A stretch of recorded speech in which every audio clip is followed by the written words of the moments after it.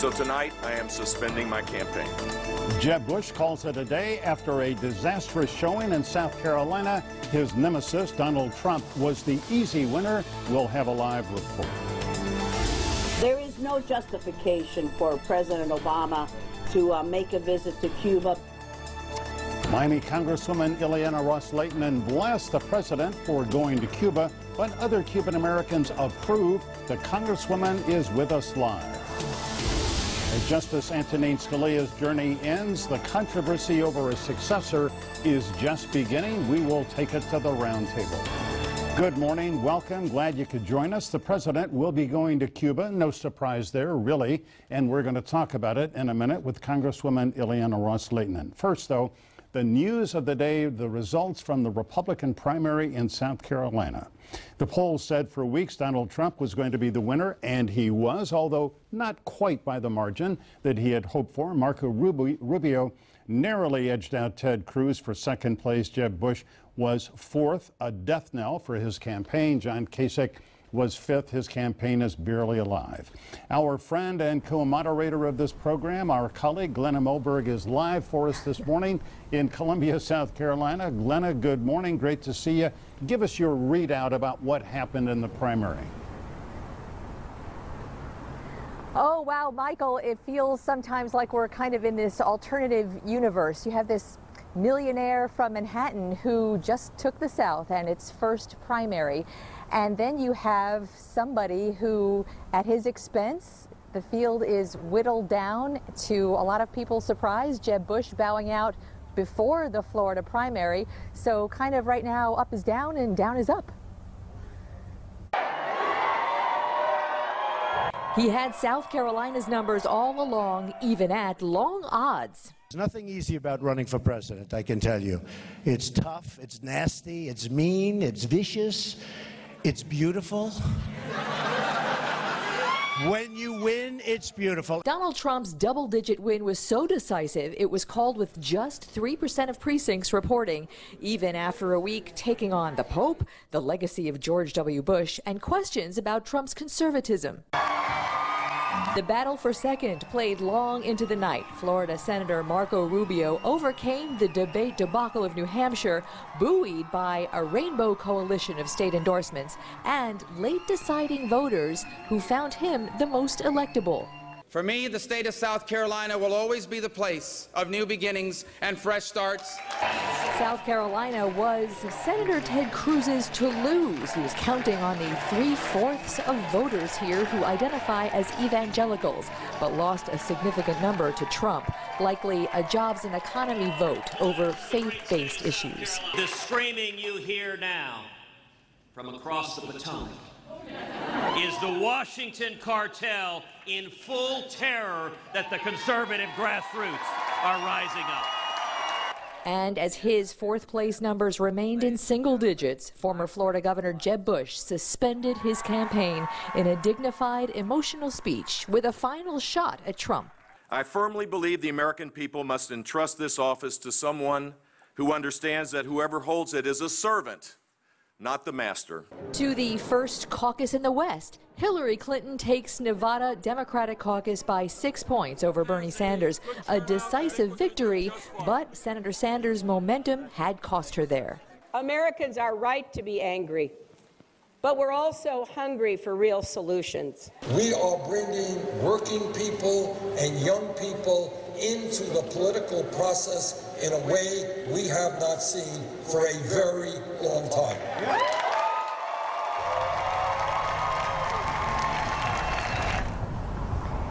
So now the parties prepare to switch states. The GOP heads to Nevada this week, and the Democrats come here for their primary this week. And you can already tell Michael on the ground here because all of the people in South Carolina who have been just bombarded with political ads over the last week or so, as of midnight last night, they've switched to Bernie Sanders and Hillary Clinton ads, and we expect that that will be what they see all week this week. And of course, we in Florida will be seeing that pretty soon as well. Well, we will. March 15th is our primary, a winner take all primary. And as our guest, Ileana Ros-Lehtinen, said to me a minute ago, if Jeb Bush had come here and sputtered out in that primary, it would have been just a terrible embarrassment. But it's an embarrassment enough for him to have ended his campaign as he did there in South Carolina.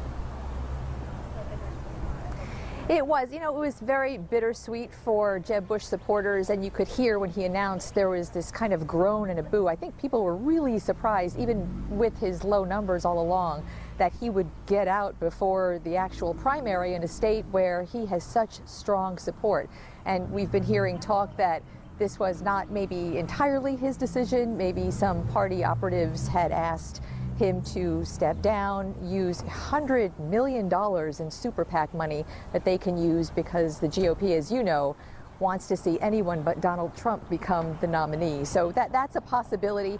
But, you know, this was a place where Jeb Bush was supposed to be resurrected. His family was here. George W. Bush, former president, is hugely popular in South Carolina. He was here. It's a it's a military family base. It's um, you know it's a faith-based state, and you heard all the candidates, not just Jeb Bush, talk about in their speeches God and being blessed. You heard so much of that. And uh, it really was very disappointing to him that he never really got out of the single digits last night. And Glenna, as you talk to various political operatives there, and you certainly have over the last several days, do you get the sense that the Republican establishment is going to try to get behind Marco Rubio now? Um, I think, I, am not sure I can answer that at this point. I think that would be the conventional wisdom because at, at this point, you know, it's, it's so long, there's so much time to go primaries are a numbers game with the delegates, and, and right now that's so early in the process. So now it's all about momentum. Um, if you watch Marco Rubio in all of his speeches, he kind of subliminally projects, when I'm president, I'm this, I'm that, and he's got such energy, and his speech is so compelling that he, um, you know, he has the attention, especially with Ted Cruz and Donald Trump. If, if it is a three-man race now, Marco Rubio would be the natural candidate that the GOP would want to get behind in this case. So, I, you know, that may be premature, but in this early stage, that could very well be. And, and also, you know, while we're talking about that, it was so interesting for us here to talk to voters and hear how all of this messaging translates with voters and why voters would choose to vote for whom they, ch they chose to vote. And consistently we heard that they were attracted to energy and electability and the people who actually attended Jeb Bush's town halls, and there were a lot of them, less speeches, more town halls where Jeb Bush would sit and discuss policy and detail. People who actually saw him and heard him were very taken by him and actually voted for him. Those who didn't see him up close and personal and just saw him on television consistently told us that they didn't see the energy. They didn't really feel like he wanted to be president that badly. And it was such an interesting uh, perspective to hear from voters when, I guess, when you're closer to it, you see things much differently. And, and uh, you know, you and I both know Jeb Bush well. We've covered him as the governor. And when he was the governor of Florida for eight years, he was a dynamic figure, larger than life uh, in Tallahassee and in the life of the state of Florida, like it or not, some of the things he did, Terri Schiavo and so on. And yet, I think that Donald yeah. Trump scored some points early on when he said, Jeb, low energy. I, I think whether it was accurate or not, that label stuck, didn't it? Um, I think it did. What Jeb is, uh, Jeb was an absolutely, by all accounts, fierce leader. He is a, a leader by persona. Again, as you said, like his politics or not, there's no argument that it was his way or the highway. He was very thoughtful in his deliberations. He had has principles that he stuck with. He's a rock star leader in Florida because of his record with conservatives. He is not a rock star personality. And in this race, probably because of Donald Trump, and really, when you blow it up a little bit in our society, rock stars get the attention. And sometimes, and, and, I don't mean to suggest that this is style over substance with any of the candidates, but sometimes style over substance catches the attention and wins, at least in the short term. Right now, the short term is momentum, and momentum in this race could well lead to a win. Glenna, we are so glad that you have been in South Carolina and also in New Hampshire and Iowa. Come home and uh, rejoin us here on the set next week for This Week in South Florida? Getting on the plane now. All right. See you soon. Thank you very much. All right. Up next, the president says he's going to Cuba next month, and reaction has been negative from two of our four Cuban American members of Congress, and we will hear from Congresswoman Ileana Ros-Lehtinen next.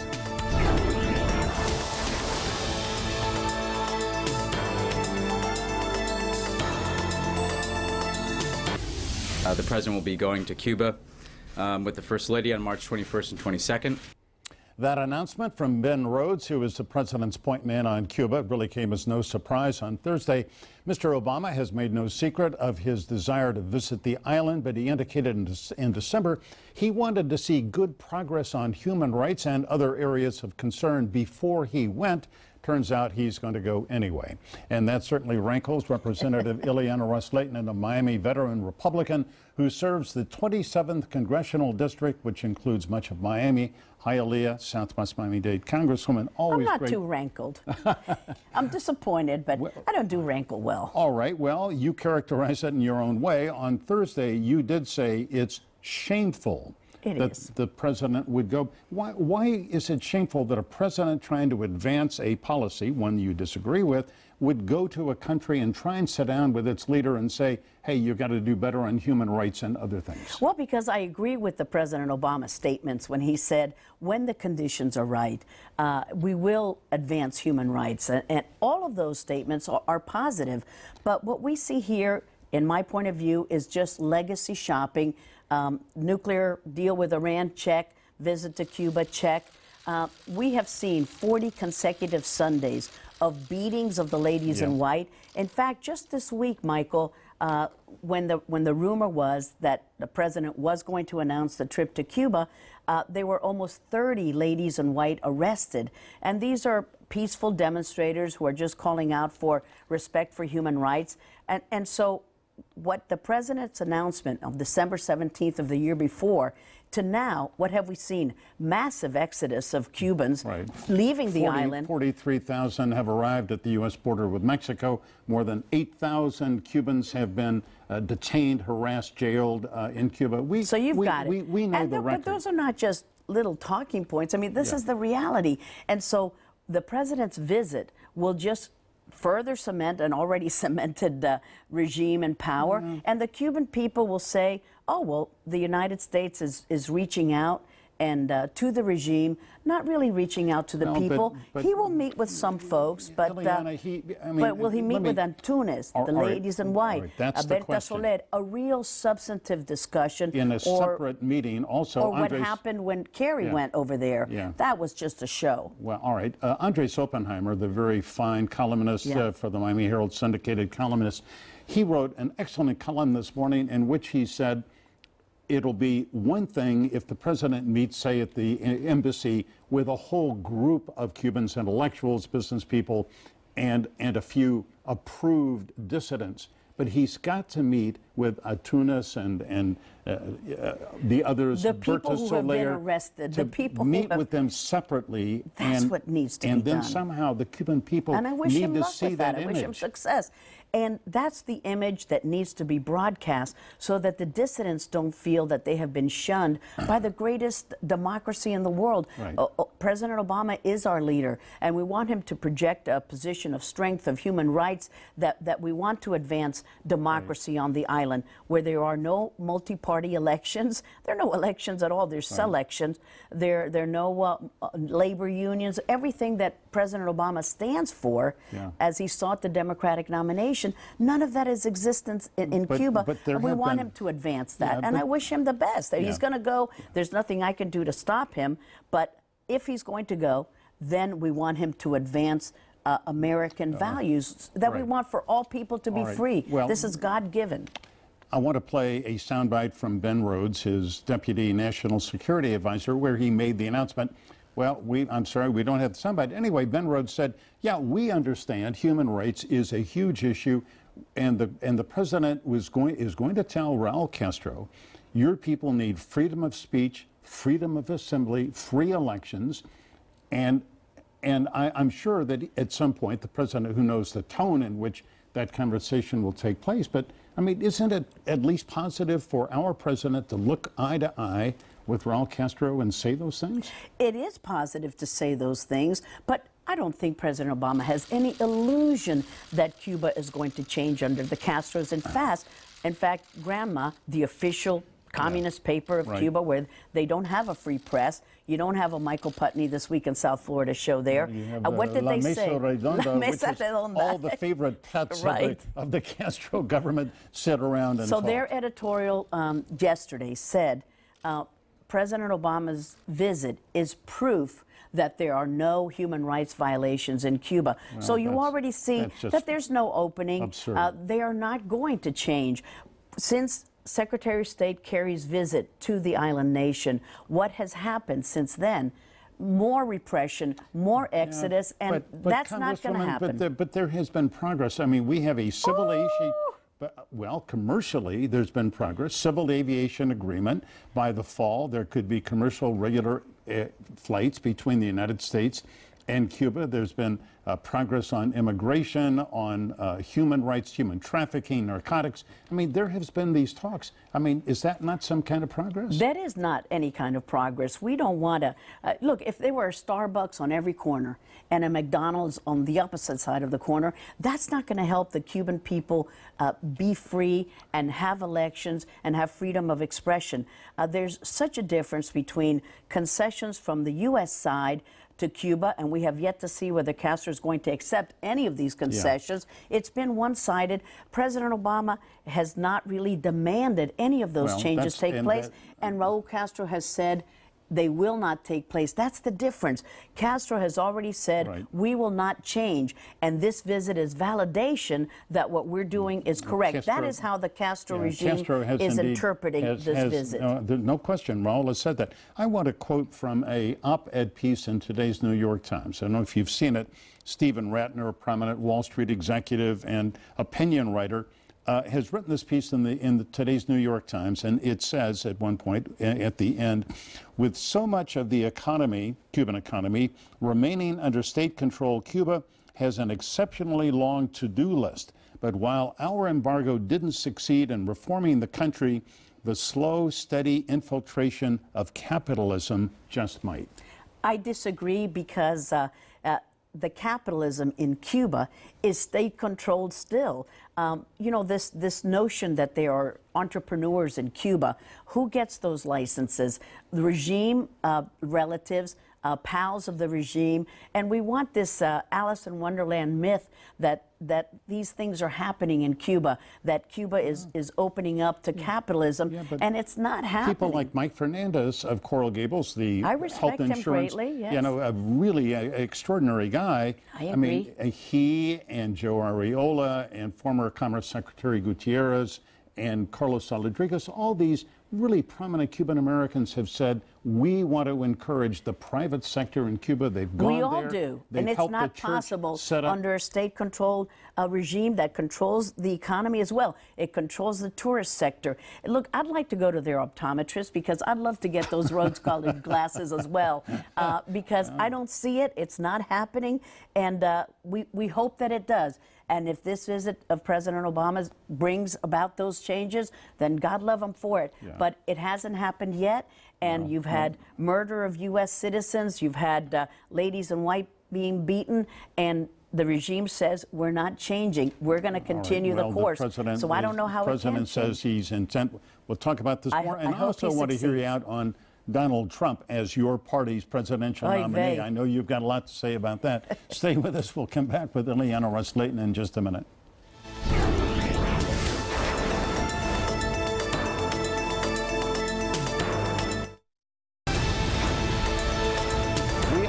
Live this morning with the one and only Ileana Ros-Lehtinen, Congresswoman from the 27th Congressional District. Congresswoman, I, I need to ask you, I asked you this question on Thursday, need to ask it again. 1972, Richard Nixon went to China. The staunch anti communist could do that because of his record, and subsequently, uh, the strained relations basically ended. This huge commercial relationship.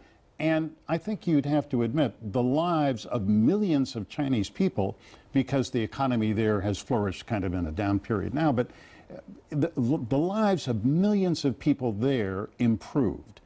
And so, what's the difference between Nixon going to China in 1972 and Barack Obama going to Cuba in 2016? A huge difference. And you mentioned Andres Oppenheimer's excellent column in today's paper. Yes. Read it to see how he differentiates between the Nixon visit to China and the Obama visit to, to Cuba. And I would add to his uh, thinking a few other items. Uh, Nixon went from a position of strength to try to get uh, China uh, to cooperate more with the United States. Unfortunately, what's happened after that visit and since is that China developed two models political repression, but economic freedom. Uh, we don't have even that differentiation in Cuba. Also, what we've seen of the Obama presidency is, uh, is a legacy of concessions. Uh, he did it with the Iran deal that has been from a, a position of weakness, not from a position of strength of, of Richard Nixon.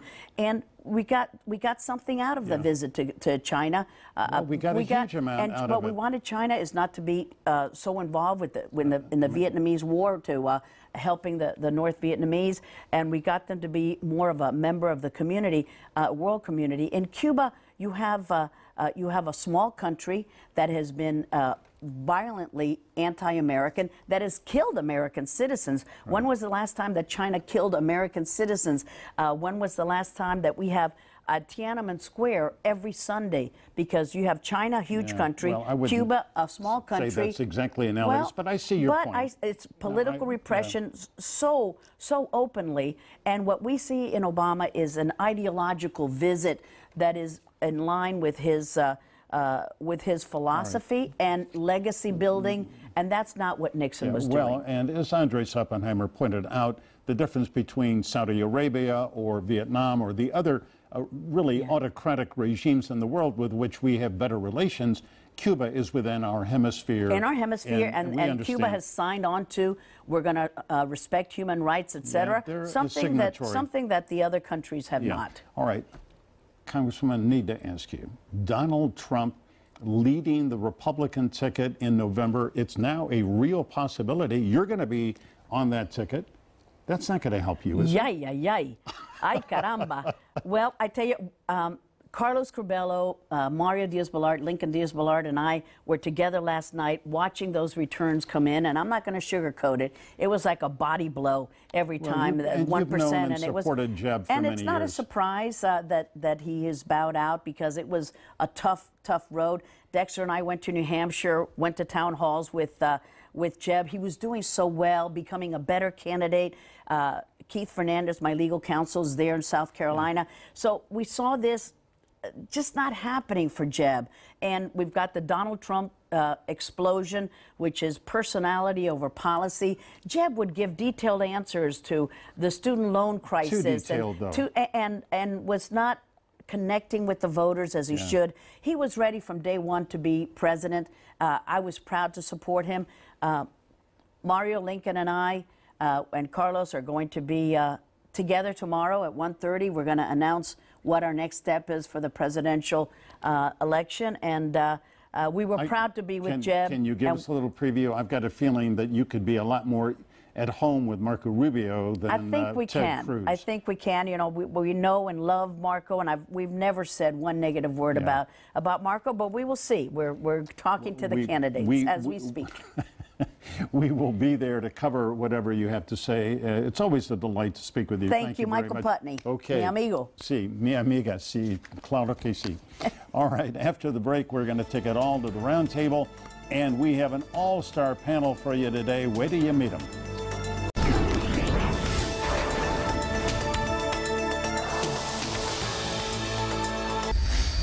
It is time now to take a much closer and a more analytical look at the week's top news stories and some add opinion into the mix as well. And we do that with our Powerhouse Roundtable. Here they are. What a lineup. Katie Phang, Miami attorney, partner in the Berger Singerman Law Firm, a former prosecutor in both Miami-Dade and Broward. Marc Caputo is a Roundtable regular, the Florida correspondent for Politico, the website for all things political. He also writes the Politico Daily Playbook, which is a must-read. And we are glad to welcome back Dr. Jorge Duany, director of the Cuba Research Institute at Florida International University, professor of anthropology. Gee, I thought Governor Scott said there shouldn't be anthropologists anymore. Everybody should be a STEM student. Anyway, good to see you very much, Jorge, for coming in. Mark, let me turn to you first. Uh, is it now inevitable, or is Donald Trump close to becoming the Republican presidential nominee? If you made me bet, I would say Donald Trump is going to be the nominee. He leads well in delegates, and he has a really good or propitious calendar that he's facing. These SEC primary states, so to speak, uh, Right. in the Southeast, lean heavily Trump. And uh, then, then he's going to be heading into Florida on March 15th, and he's doing well here in the polls. Uh, Katie Phang, uh, you follow politics closely. I, I just have to say, uh, I, I listened to Donald Trump this week. I saw him on the CNN uh, Town Hall Forum, and uh, he says things that are, frankly, inappropriate. Yep. That would, for any other politician, be death. I mean, in South Carolina, to criticize George W. Bush, say he caused the, the war. Uh, He called him a liar. He didn't just called him criticize him, he called him a liar. So, right. Yeah. How, how does he survive and say all these things? He says incredibly socially and politically unacceptable things, and yet the terrifying component is people are saying he's saying things that we're all thinking. I find that to be particularly offensive because it's not what I think, but it's the idea that there's the millions of voters out there that feel disenfranchised by the current administration and they're looking for a change to, I guess, borrow a former Obama phrase. They want change. They think Trump is it. But I, Mark and I were talking about this before we got here for the roundtable. Trump's got a way to go. I mean, he's got to get the number of delegates to be able to be our nominee for the party, and I don't know if he's Right. going to do it. Well, there is a kind of a mechanical aspect. I mean, you've got to collect all these delegates, and uh, but he's got a very strong campaign. Um Jorge, I have to ask you. I mean, uh, you're an academic, but you follow the political world. When you watch all the what happened this week in South Carolina, what do you think? Well, I think there's a polarizing trend. I mean, uh, over the campaign, we've seen more and more white voters and evangelical voters, especially, voting for Trump. Uh, but the other uh, groups have really have uh, fallen out of the way. So, for instance, I think one of the issues will be when when the campaign comes to, to Florida, how are Hispanics uh, going to vote? Uh, well, they're not going to one of the vote for? That's the thing. Donald So- Trump, are they? I mean, the guy who said we have to build the wall and the border. I, I, I think that Hispanics uh, are, are just going to say no. We're not going to vote that way. I, I'll tell you, I, I spoke to a lot of Florida House members uh, and Florida state senators who had endorsed Jeb Bush. Mm-hmm. And I asked them when I was up in Tallahassee, who are you endorsing? Jeb Bush. Uh, if the election were today, how would the Republicans in your district vote? They said Donald Trump. And those are, if you're a Republican from South Florida, you're generally Cuban American and you're, Right. you have a sizable Cuban American population. You're going to forget Marco Rubio, though, from this mix? That's that's what's amazing though is that they were saying Trump. My next door neighbor is a Cuban American. He fled Cuba as a kid. Uh, he likes Trump. The only thing that took the shine off of Trump for him was Trump's statements on Planned Parenthood. He thinks Trump might be a little too far left, but don't count Trump out at least in a Republican primary. Well, what about Ted Cruz? I was watching last night. Uh, you know, here's the fourth place finisher making a victory speech. They all made They all made vic- victory speeches. victory speeches last night. And, and Katie, I, I've got to say, there is something about Ted Cruz that is so off-putting.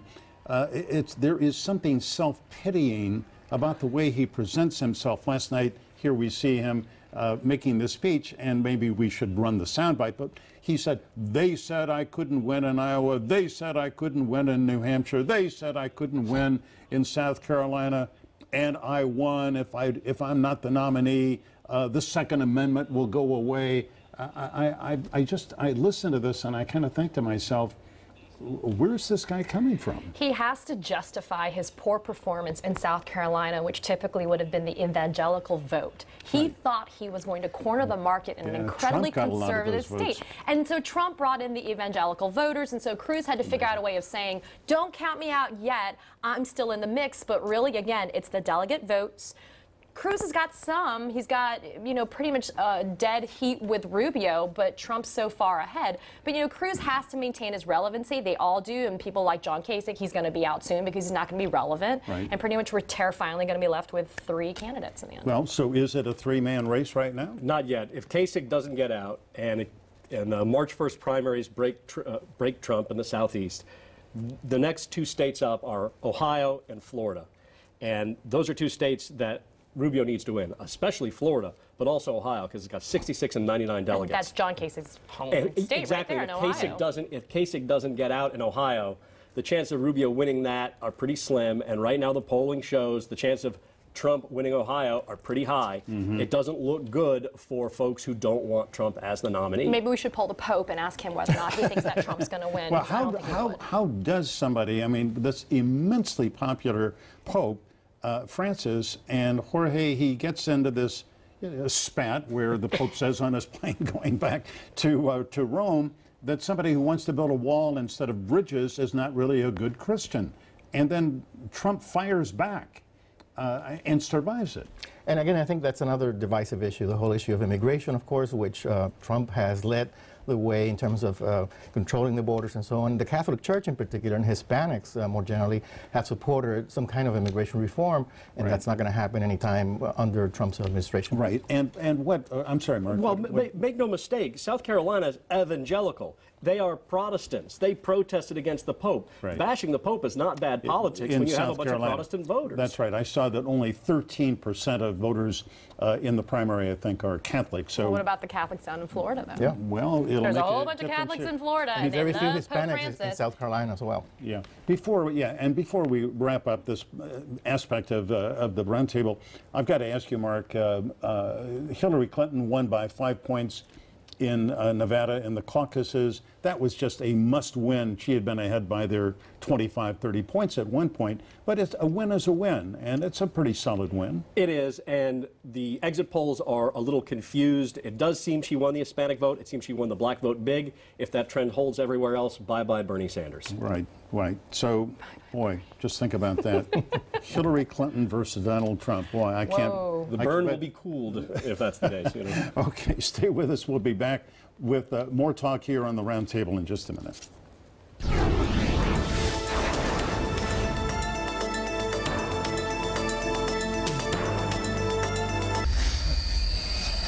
We are in the midst of the roundtable. Marc Caputo from Politico, Katie Phang, famed attorney, and Jorge Duany from FIU, famed in my mind anyway. Uh, Jorge, let me ask you about the president's trip to Cuba.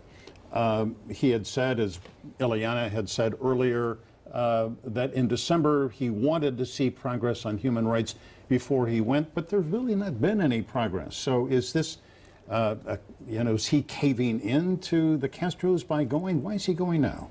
Well, I think for him it's important to make this an irreversible policy change so that the next president, and the next Congress can't uh, go back uh, before December 17, 2014. So it, it really is part of his agenda to make it so difficult for the next uh, president, the, the next White House, to reverse the, the rapprochement with Cuba. Right. So the, the progress, I mean, Ileana Ros-Lehtinen said it wasn't progress, but I mean, Katie, we've got commercial flights that are going to begin. Carnival Cruise Lines wants to send a, a cruise ship down there this summer. Uh, beginning this summer, there is agreement on narcotics and human trafficking.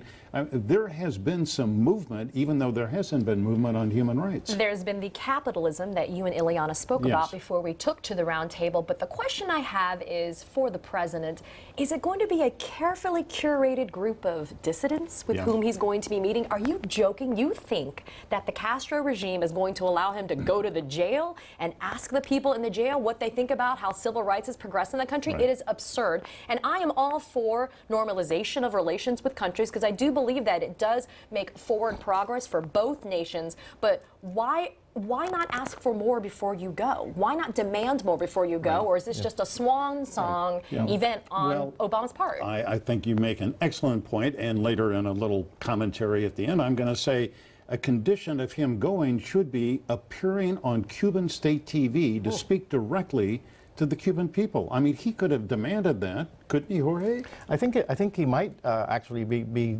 going in that direction. President Carter did it when he Yes, went he uh, a couple of times before, and I think as we speak, there must be some uh, very uh, strong negotiation going Well, on. I hope- And what will probably happen, I think, in terms of the dissidents, will be that they will meet separately at the ambassador's house in Havana, just like they did with uh, Secretary Kerry when he went to open Mm-hmm. Right. the embassy. Well, Right. An interesting thing about Cuba policy in the presidential election is not only do Sanders and Clinton support Obama's rapprochement with Cuba, but so does Donald Trump, Yes. who has kind of completely reversed himself. Uh, when he before he ran for decided to maybe run for office in 2000, he was a hardliner like them all. And now he's basically saying, well, yeah, it's time to move on, it's time to change. Remember, he's also a casino Well, he's developer. also an uber capitalist, so hello, and he's a right? casino developer, Yeah, you know. it so inures to his benefit. open up Meyer Lansky's old casino. Okay. All right. Uh, I want to move on to uh, another big story. And Katie, I know that you have thought a lot about that, and that is the death of Antonin Scalia and naming a successor. The president says he will do it in due time. Yes. Uh, what what does that time. mean? Uh, whatever that means for Obama a in week due time. or two, or There's no set time frame within which he's going to make this decision, but we all know and we can all anticipate a filibuster to occur when and if the, the nomination process Right. happens. The thing that troubles me is that um, Obama can plan this trip to Cuba, which is uh, particularly involved international travel, but he can't go down the street to Antonin Scalia's funeral yesterday. He sent Joe Biden and his wife, uh, Mrs. Biden, in his stead. I, I think it was a sign of, of disrespect. Um, Scalia was the longest serving justice on the highest court of our land, and everybody needs to know it's not just lawyers that are affected by these Right. decisions, it's everyone who lives in the United States. So why not show some respect and actually go and pay your respects to Scalia? A good point. And did you say, Mark, that you thought that maybe the Scalia family had said, indicated? This is the we- problem with this is the problem with reading too much, especially on social media. I say allegedly, I'd come across somewhere, and who knows, it could have been just some phony troll lying. But uh, there, there, there is word among liberals uh, who are saying, no, it's not that Obama intentionally snubbed Scalia's family. Word was sent that he, his presence, Obama's presence, would would not be. Uh, Looked on favorably at the funeral. Don't know if that's true, well- but if there's any pushback, it's that. Yeah. But you know, getting a straight answer out of the White House or anyone these days in politics is No, almost it's, impossible. it's almost, it, it is almost impossible. Uh, Jorge, the, um, uh, the strategy, it appears from the White House, uh, they're considering is either appoint a moderate Republican to the court or nominate, uh, like Governor Sandoval of Nevada, who is a Republican, but you know, kind of a middle centrist uh, Republican, uh, former Attorney General, former prosecutor, former federal judge.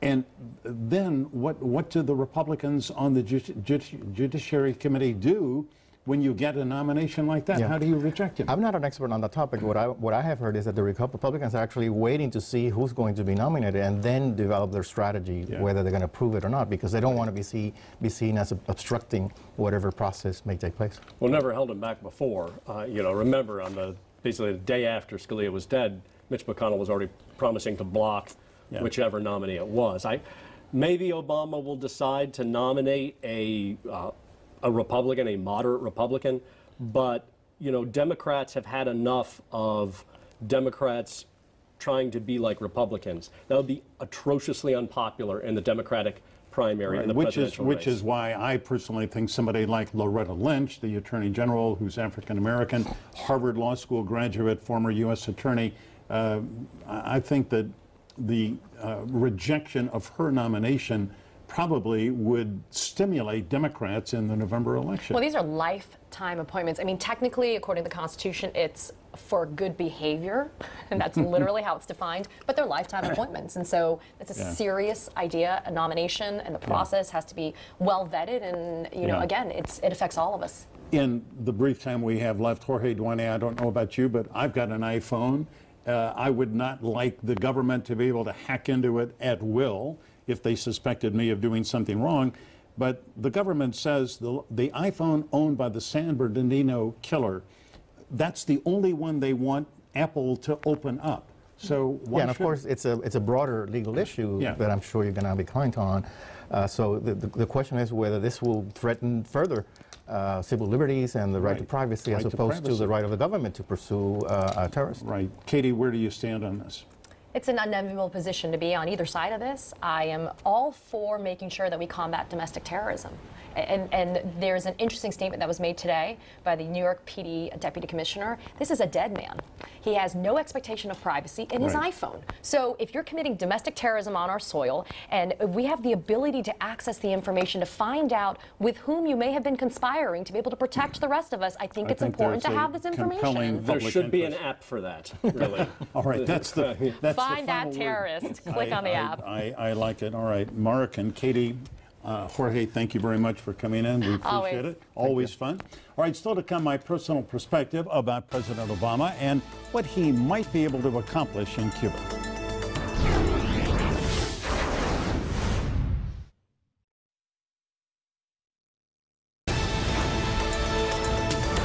Here now is a live look from our Miami Tower cam. Oh, it looks beautiful out there, but let's uh, go to a little beautiful meteorologist, Jennifer Correa, with your Sunday forecast. Jennifer, hello. Oh, thank you, Michael. You're going to make me blush, blush live on TV. Uh, I'm doing very well. I hope you're doing awesome. In South Florida, I hope you're enjoying the sunshine. Get out there, whether you're going to the beach or not. Just head outside. It's absolutely gorgeous. By the way, high RIP current risk is still in effect, so do be careful if you're out at the beach. And of course, with all that sunshine, use that sunscreen. Already at 79 degrees in Pembroke Pines, winds out of the east, anywhere between 10 to up to 15 miles per hour currently. Uh, winds should stay around 10 if you're out at the beach with a surf of 1 to 2 feet. Boaters, no advisories, but just be careful in the bays. The bays with a moderate drop, seas 2 to 4 feet and occasionally up to 5. Now, after all this sunshine for the end of this weekend, we are going to see a few changes this upcoming week. Starting tomorrow, a little more cloud cover, better chance for showers Tuesday, especially Wednesday when that cold front arrives. And after the cold front, we start to cool things down. By the end of the week, we're talking the 50s, and we'll be using our sweaters by then. Michael? Jennifer, thanks. All right, before we leave you this morning, a personal perspective about the president's upcoming trip to Cuba. I've said it before, I'll say it again. I don't think it's a good idea for the president to visit Cuba until the Castro government has made significant improvements in human rights. Mr. Obama says, yes, he will bring up human rights concerns when he sits down with Raul Castro. I'm sure Castro will nod and say, yes, we understand you've got concerns. So do we about all those unarmed black men who have been shot to death by police in the U.S. We have concerns, too, about the plight of millions of poor people in the U.S. who struggle to get by. Of course, most people in Cuba are poor. The average salary there is $25 a month. As the old joke goes, the revolution has been great except for three things breakfast, lunch, and dinner. There's nothing funny, of course, about the lack of basic human rights in Cuba, the ability of people to freely elect their leaders, to assemble without harassment, to speak out and demand change. And here is hoping the president directly tells Raul Castro that must change and to withhold U.S. benefits until it does. The most important thing the president could do, I think, in Cuba is to meet with a group of pro democracy activists, real activists, the people who are regularly harassed, beaten, detained, and jailed. And there has to be a way for that meeting to be seen by the Cuban people. We don't know if Cuban state TV is going to give Mr. Obama airtime. I think he should demand it as a condition for his trip. He needs to explain directly to the Cuban people what his policy goals are. They need to know the U.S. goal is to create a successful civil society that does not need the Cuban government to exist, a society that will prosper. Let's not be naive about Mr. Obama's visit. Three popes have gone to Cuba in the last two decades, and the government is still autocratic and repressive. President Obama could change things for the better, but he has to stop giving concessions to the Castro government without getting anything in return. This new relationship has been a one way street so far. That's my perspective. Hope you have a great Sunday. Remember, as always, stay informed, get involved. We'd like to know what you think. Invite you to weigh in on any topic. Email us, send us a tweet at any one of these addresses. We're easy to find. We will respond. Have a wonderful Sunday. We'll see you next week.